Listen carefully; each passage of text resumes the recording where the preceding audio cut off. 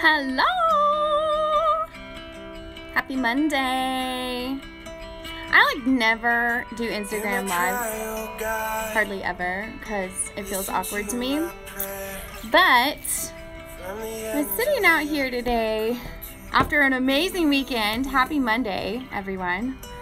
Um, I know some of you are going to be watching this later. And so my heart right now is to share an encouraging word because I'm sitting out back, had kind of a long day, driving all over the state, doing all kinds of cool stuff, and um, coming out of like an amazing weekend, right? Like, how many of you were there for A21 Walk for Freedom on Saturday? Like, was that not an incredible experience? It was such a blessing to me. That was my third year. Hey, Neff!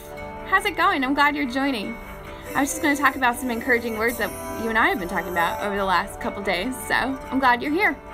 Um, but A21 was amazing, right? Like, so cool. I was so honored to, um, to be pulled into some of the leadership team and helping with check-ins and stuff. It was just amazing. That was my third year. So incredible. Um, I've had a lot of people actually reach out that were not a part of the walk, or actually had a friend, Lindsay, if you watch this later, um, who reached out to me. I went to high school with Lindsay, and uh, she was in L- she lives in LA, and said, Hey, are you in LA? Because she was driving and saw the LA walk and thought that we were walking with LA. So it opened up a really awesome opportunity for me to share with Lindsay what A21 is all about and um, encourage her to check out the website to learn more about that amazing organization. Um, so cool. And then yesterday, I know a lot of us were there for Hillsong to see Joel A'Bell from Australia. What an encouraging message and an amazing illustration. I was just so encouraged by that. It was exactly, exactly what my spirit needed. Um, so I'm just charged up. I just woke up today and I was like, let's do this. It's a new week. New week, new opportunities, and uh, yeah, I was ready for it. But I'm to be really honest. Um, today didn't exactly, like, not every part of it was like candy canes and rainbows and full of favor and promise like I had hoped. But um, that's not to say that God's not still at work. So I've, I've really been learning today to just abide, like Neff and I have been talking about over the last few days, like the importance of just being, just being in His presence, um, not striving after God, but just seeking Him. Like Matthew 7 7 tells us that when we seek Him with all of our heart and our mind and our soul, that's a different scripture, but um, same is true. That when we seek Him, we'll find Him. He wants to be found, He wants us to go on the journey with Him, but it's not like a striving thing. Like He's closer than our breath. You know, we are the indwelling place of the Holy Spirit. He's not far, He's not hiding from us.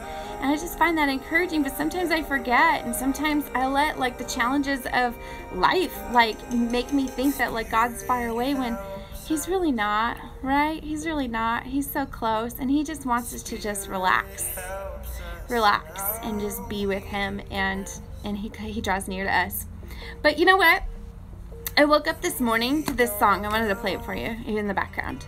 It's by um David Baloche, if I'm saying that correctly, on the Labyrinth album. And it's called Lead Me to the Rock. And it is based out of Psalm 61, verses 1 and 2, where it says, Oh God, listen to my cry, hear my prayer. From the ends of the earth I will cry to you for help. When my heart is overwhelmed, lead me to the towering rock of safety. For you are my safe refuge, a fortress where my enemies cannot reach me. So that, you ever just wake up and you just have like a song on your heart and you don't know why? Like it's just like on repeat. And that's like Holy Spirit just like reminding you, like, hey, listen to this song. It can encourage you today. So that was my morning wake up song. And I thought, okay, so I started off the morning that, that way. And then I drove all the way across town by the airport for a Keller Williams training event, which was awesome. And then after that, I went and got x-rays done that you may have seen in my little Instagram story. So the story behind that is I used to drive a big truck, like a giant truck, a black four-door F-150. I know, little old me, those of you that know me, I'm like five foot zero. So for me to drive a big truck is like my like people thought I was like they just couldn't understand. But um, at the end of this month, the end of October, it'll actually be two years, and it got totaled.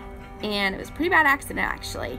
Um, I got hit from behind as I was trying to avoid an accident on the highway.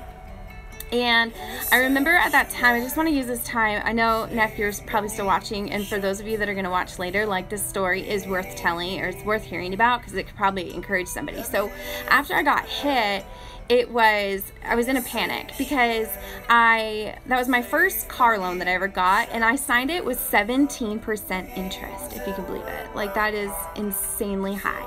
And so I was upside down in that truck and I was so worried that not only did I not have a working vehicle but that I wasn't going to get paid out from it by my insurance what I owed on the loan which meant that I would have to like basically pay to not have a truck.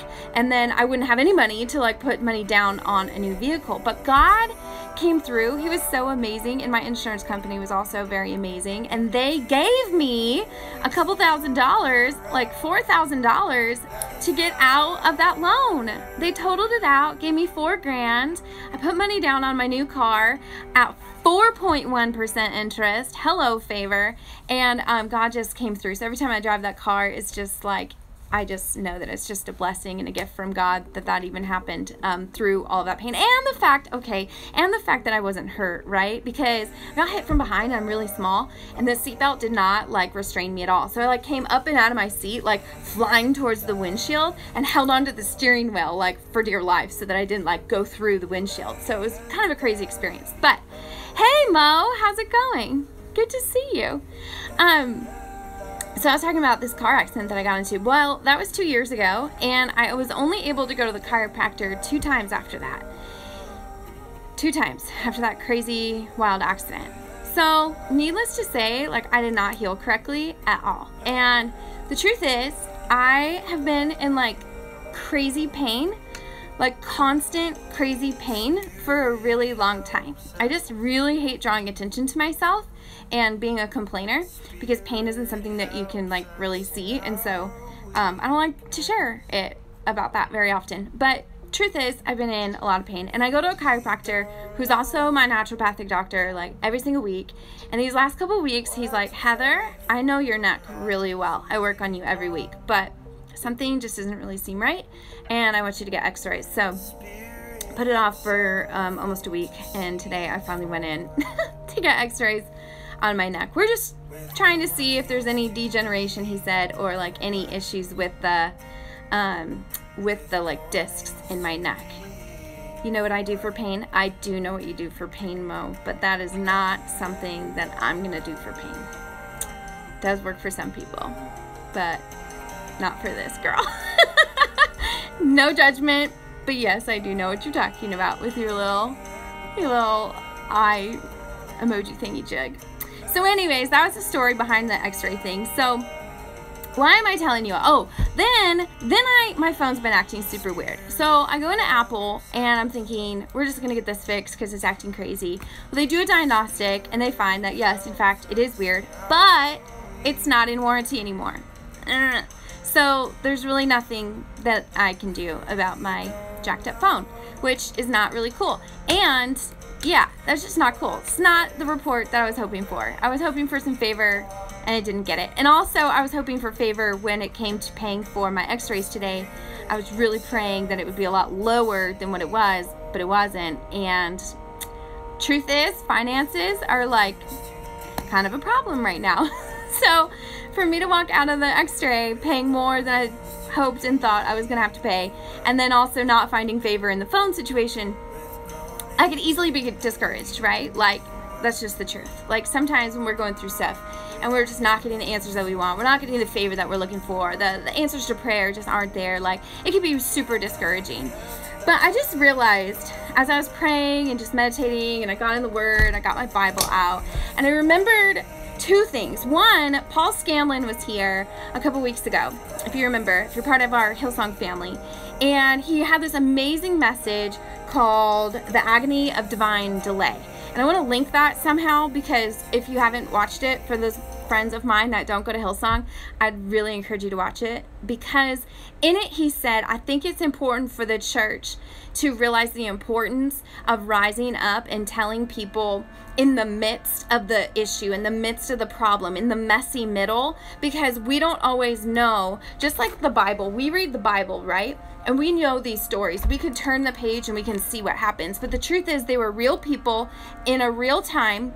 And when we are reading their stories, different people like David or Joshua or Moses or Jesus, even, right? Like, really, anyone that we read about, we can see their struggle, um, but then we turn the page and then, and then we can see what comes of it. But the truth is, when those people were actually living and breathing on the planet, like, they didn't have their life story to just like turn the other page and be like, oh, good, okay, I can relax. Like, this is what God's gonna do. Like, just like the rest of us that are going through things, like, we don't know what that next chapter is gonna look like. We don't know what that next um, season of our life is to look like. And so, what Paul Scanlon had had really challenged us with is let's get let's talk about the messy middle. Like let's let's be really transparent and vulnerable with each other and say like I don't know what's going to happen and I don't know what's going to come of this and here's where I'm at right now, but like I have no idea what this next season is going to be like. And yes, I'm praying, and yes, I'm believing, and I'm praising, and I'm hoping for God to have favor and to come through and His protection and His healing. But truth is, I don't know what's going to happen. And I know a lot of my friends right now that are going through some stuff who just quite simply like don't know whether it's going to happen. So I'm using this space right now just to let people know like I'm in a messy middle. Truth. Truth bomb. I'm in the messy middle. I'm not sure what's going to happen. And I also remember Pastor John Shepard. For those of you who remember Pastor John, Pastor John said to me one time, Heather, you really want to know how to hit the devil where it hurts? He said, if you really want to get back at, at, the devil for trying to come against you or whatever, and you really want to give God glory, he said, pray over other people what you are going through yourself. Even when you don't know the outcome, just start praying and believing for other people, and that'll really just oh, get that dig into the enemy sometimes, right? And I thought, you know what? I'm going to use this space to do just that. I want to use this space to point you to some scripture, and I want to pray here in a little bit. I know a lot of people are going to watch this afterwards, and I just want to encourage you like, if you're in a messy middle and you need a prayer partner, and you need somebody just to listen, or you need somebody to walk with you through it, or you need somebody to not just say, oh, yeah, I'll pray for you, like praying for you. Um, although that's that's very nice, and, and we love love that. Um, sometimes it's more powerful when we pray with each other. Who would agree? Would anyone agree? Sometimes we need to stop what we're doing and we just need to pray with each other. We need somebody who's going to get in the trenches with us. We need somebody who's going to fight the battle with us. We need somebody who's going to stand next to us and lift up our hands in praise when we may not have the strength to do that on our own, right? So I was looking at Romans um, 8. So I'm going to turn there real quick. Romans 8, verse 37. It says, We are more than conquerors through him who loved us. We are more than conquerors. What does that even mean? What is more than a conqueror? Well, in my study, I have found that to be a conqueror means that you overcome something yourself.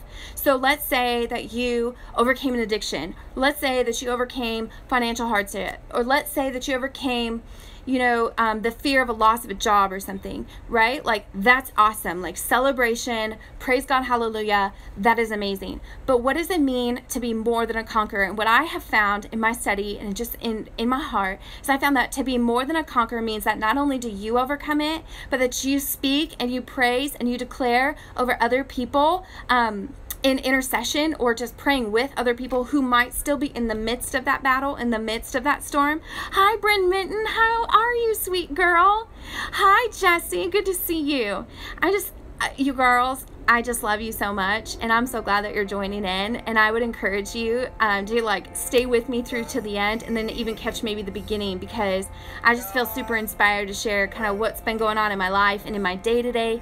And um, and I'm to the point now where I just want to share words of encouragement for other people, not knowing a clue like what anyone else is going through, what anyone else is up against. But I just feel like the Lord's just put on my heart to to stand up and declare the promises of God over people's life. And so we were talking talking right now about Romans 8, where it says we are more than conquerors through him who loves us. And to be a conqueror means that you overcome something yourself, but to be more than a conqueror means that you you preach and you and you declare and you pray and you you bless other people that might still be in the same battle and in the messy middle that you have overcome. Does that make sense?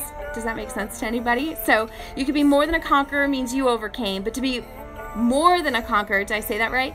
Means that you are speaking promises and declaring that victory over other people today. So two other things that I found super, super encouraging is I've just spent some time with God as I'm going through my day and the fact that I just, I'm asking for God to come through. I'm asking for favor. I'm asking for some big things right now. Big to me, right? Big in my eyes, but not big to God because God is bigger than all things and nothing's impossible for him. And so although I might think it's a, it's a big deal and I'm asking for some big and mighty things right now, God's kind of just like, oh, my daughter, like, that's so cute. You think that's a big deal for me, but it's not. So he's working on the blessing, even though I can't really see it right now. And I'm just believing that. And so you guys get to join in on what God is doing in my life and stand with me as I stand with you. And we're going to believe that God really is at work, even when we can't see it, even when we can't hear it, even when we don't feel it, even when it doesn't seem like that's what's happening because his promises are true and he does not he's not a liar god will not be mocked he's not a liar so i was going to point you to laughter. Sometimes we just need to laugh. We need to laugh the in the face of the enemy, right? So I was looking at Proverbs 17, verse 22, and it says, A cheerful heart is good medicine, but a broken spirit saps a person's strength. So, what can we do when we are feeling weak? It says that a cheerful heart is good medicine. So, when we need that, hi, sweet girl, um, when we need strengthening. And when we're feeling weak and when we're feeling we're in that dry place and we are parched in our spirit, it says that we can have a cheerful heart. That means put on, can you hear the dogs across the lake? Sorry if that's loud. But um, we need to put on something that's funny and learn to laugh in the face of our enemy. Anyone else? Does anyone else ever feel that way? Like, let me get a little emoji hand raise. Because when we learn to laugh, it releases in our body, in our brain, and in our spirit endorphins that will help us to overcome what it is that we're struggling with. It'll give us the medicine in our spirit that we need to continue to persist, to continue to pray, to continue to praise, no matter what's going on in our world around us. And the other thing is, you've heard this one before Proverbs 31, verse 25, where it says, She is closed in clothed in strength and dignity, and she laughs without fear of the future. Girls, sisters in Christ, we need to learn to laugh without fear of the future. I'm saying that to you because I need to hear it for myself, right? Yeah, fist. Thanks, Nev. Uh, we need to hear that we need to absorb that I need it for myself. I need to remember that I am clothed in strength and dignity. I am a child of God. I am a co heir with Christ. And no matter what's going on, even though I can't see it or feel it or understand it right now, that the, the, the that the glory of God is good. He's a good, good Father. He's at work for us. And I'm just saying this not just for me, but for you. I don't know who you, who in your world might need to hear a word of encouragement. I have no idea, but you do. And, and you are a vessel of that strength. And so I just want to empower you today and encourage you today to be that voice of love and strength in your world. Be it for yourself. Declare the promises of God over your life.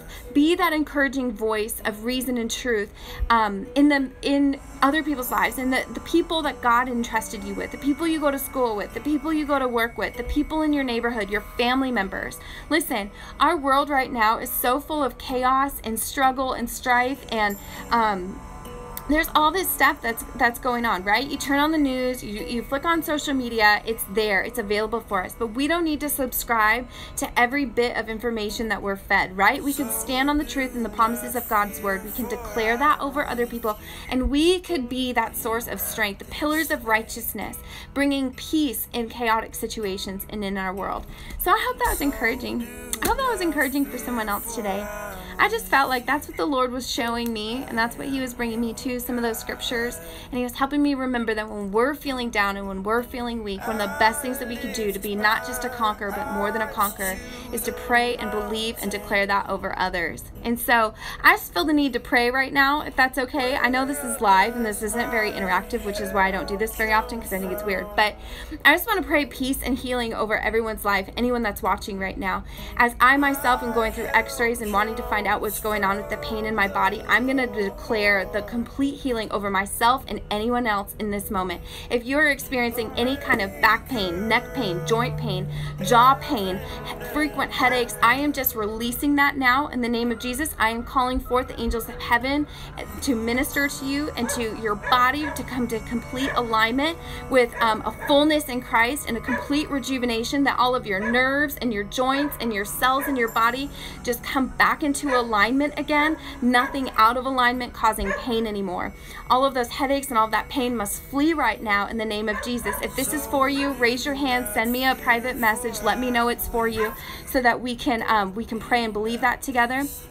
I want you to pray as if you've already received already received it and it shall be given to you. That's a promise of God. So if that's you and you want to accept this healing, pray as if you've already received it and it shall be given to you. So I'm, believing for reports of complete healing now in the name of Jesus. So if that's you and it's working and God is moving in your life, I want you to send me a message so I can celebrate with you. I also want to pray for financial provision. It's something that I need right now, so I'm going to pray and believe that, declare that over everyone watching right now. If you're in need of financial provision, we are just going to petition heaven right now and believe that God is the ultimate banker, that He's not bankrupt. He hears our heart cries. He knows our financial situation. He is not ignorant. He's not dumb. He's not deaf. He's not sleeping. He's fully aware of your particular situation and your needs. And we're going to believe of supernatural miracles of financial provision coming upon anyone that's watching. So if that's you and you need it, send me a message, send me emoji, let me know that that's you. Just receive it. Believe as if you've already received it. It should be given to you. So if you need financial provision, but declare it, receive it right now. Believe that it's coming for you and watch how God is going to move in your life and share with me. I think sometimes we're so quick to allow people to come into our prayer, right, with us. We're so quick to raise our hand and say, hey, pray with me and pray for me through these things. But we're slow to report the good news of God. And so we've got to share our testimonies in the ways that God is coming through through for us so that we can stand um, in strength, that we can stand and celebrate with one another, not just pray with one another and believe for each other, but that we can also celebrate with one another when God really does come through and he reveals himself to be faithful and just in his promises. So, what else? Healing, provision, financial provision and I also just feel like I want to pray for laughter. I just want to pray that the Holy Spirit, who is really funny, um, I don't know about you, but sometimes when Holy Spirit and I are just like super like unified. Um, he just causes me to laugh. He causes me to laugh in the face of my circumstances, in the face of the enemy. So, for anybody right now that's feeling down and depressed and anxious, anyone that suffers with anxiety or fear or depression of any kind, I'm just going to ask the Holy Spirit to draw near to you in the form of laughter, and that He's just going to allow this cheerful heart to just radiate within you, and that you're just going to learn to laugh even when things are really difficult, like a holy laughter, an uncontrollable holy laughter that will just completely change the entire body body composition from your mind to your heart to your spirit, and that you will be strengthened in that moment, in those moments of just pure laughter. That you are, you like Proverbs 31 25 says, where we are clothed in strength and dignity, and we're going to laugh without fear of the future. I hope that was encouraging for you. I can't wait to hear from many of you today. I hope that I'm standing with you, that I'm I'm that God is with you for you, not against you. And I, as your sister, am here to to to, to rally you up and to, to stand with you, to pray with you, to believe with you. I'm just a message away. So thank you for giving me some of your time. Thanks for those of you that joined, and thanks for those that are watching later that are gonna send me messages and say what's up. Have a good night, everyone.